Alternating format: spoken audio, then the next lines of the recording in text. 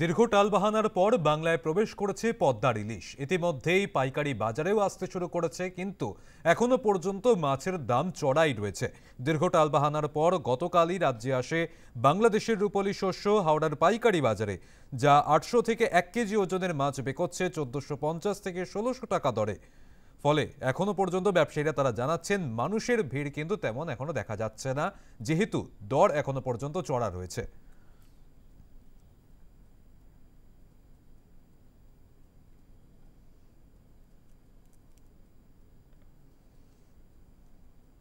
ইলিশ মাছ কেনার জন্য এসেছি। আজকে হঠাৎ ঢুকেছে বাংলা, প্রতি বছরই কিনি, পুজোর সময় আসে, পুজো দশ বারো দিন আগে ঢোকে। আজকে এই সময় ঢুকেছে, কিনতে এসেছি। মোটামুটি বাংলাদেশের মাছটা সবাই ডিমান্ড আছে, সবাই চাচ্ছে। একটু দাম যদি কম হয়, বারোশো, তেরোশো, চোদ্দোশো টাকা কিলোর মধ্যে হয় এক কেজির উপরে। এখন তো চোদ্দ, পনেরোশো টাকা যাচ্ছে শুনছি। কিন্তু এবারে আসা শুরু হলে দুদিন তিন দিন পর একটু দামটা আরও কমা আসা আছে। কমলে মোটামুটি হাজার বারোশো টাকা কিলো হলে সবাই কিনতে পারবে বাংলাদেশ। গতকালকে প্রায় পঁয়তাল্লিশ থেকে পঞ্চাশ মাছ ঢুকেছে। যে মাছটা হাওড়া, পাতিপুকুর, শিয়ালদা, শিলিগুড়ি সব জায়গায় গেছে। এই মাছটাই আজকে বিক্রি হচ্ছে। আজকে শুক্রবার, আজকে কোনো মাছ ঢুকবে না, কারণ বাংলাদেশ বন্ধ থাকে। আগামীকাল শনিবারে মাছ আবার ঢুকবে। তো মাছ, মাছের ল্যান্ডিং কম আছে। এই কারণে মাছটা কম ঢুকছে, আর দামটাও একটু হাই আছে। তো দেখা যাক কি হয়, সামনে আরও বেশি করে মাছ ঢুকবে আশা করি। আজকে প্রথম দিন আছে, মাছ কম আছে তারপর প্রথম দিনে একটু দাম বেশি, কিন্তু আমি আশা করি যে সামনে উইকে মাছের দামটা কমবে। যেহেতু ল্যান্ডিংটাও আশা করি যে বেশি করে হওয়া উচিত। দেখা যাক বাট আমরা খুশি এই কারণেই যে অন্তত আমরা মাছটা আনতে পেরেছি। দীর্ঘ টালবাহানার পর অবশেষে বঙ্গে এলো বাংলাদেশের ইলিশ।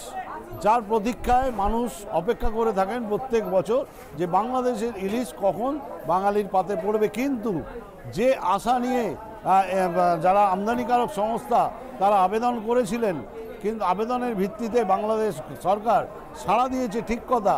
কিন্তু তিন হাজার মেট্রিক টনের বদলে চব্বিশশো কুড়ি মেট্রিক টনের অনুমতি মিলেছে। বাংলাদেশের ইলিশ ভারতে আসবে এবং তার অধিকাংশটাই বলা যায় বঙ্গে।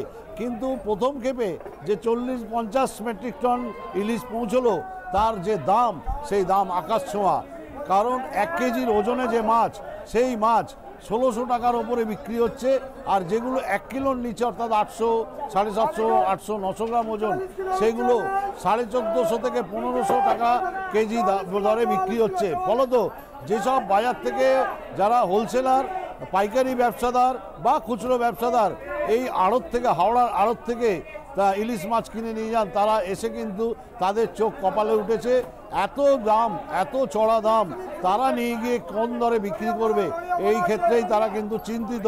কিন্তু তারই মধ্যে অল্প বিস্তর হলেও বিক্রি হচ্ছে। তবে ইম্পোর্টার অ্যাসোসিয়েশনের সম্পাদক, তিনি জানিয়েছেন যে যে যে মাছ আসছে, খেপে খেপে এই মাছ আরও আসবে এবং ধীরে ধীরে হয়তো দামটা একটু কমবে, তেমনটাই তিনি আশাবাদী। তবে দেখা যায় এখন বাঙালির পাতে এই এই ইলিশ কত সস্তা দরে পড়ে সেটার অপেক্ষাতেই থাকতে হবে, সেটাই এখন দেখার। হাওড়া থেকে শান্তনুকরণ, নিউজ টাইম।